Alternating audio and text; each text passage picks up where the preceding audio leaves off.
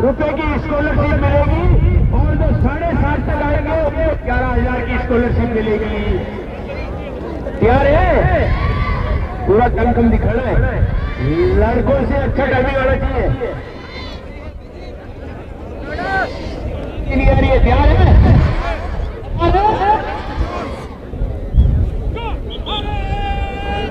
Yeah.